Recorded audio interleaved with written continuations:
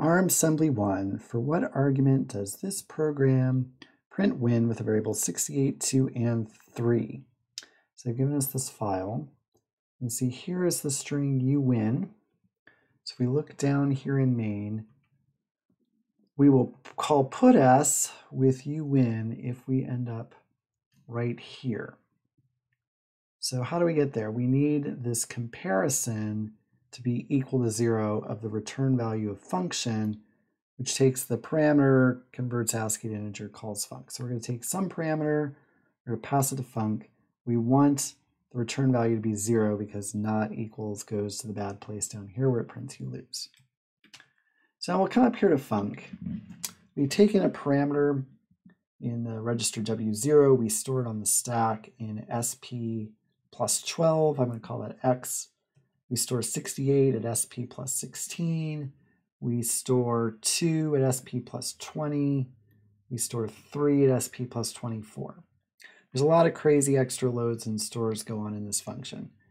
So we load from SP20, which is 2, and we put that in W0.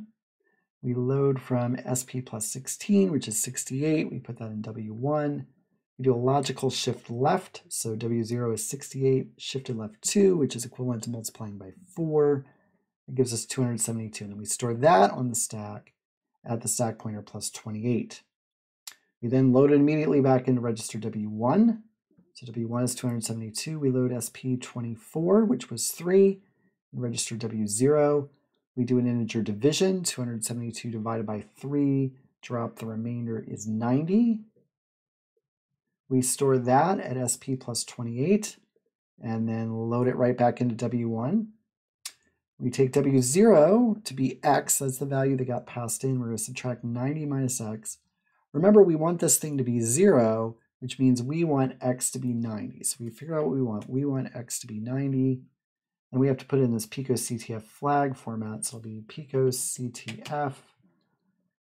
We want 90 in hexadecimal, 8 um, characters long of hexadecimal because it's 32 bits. So 1, 3, 4, 5, 6, 5A. And there we go.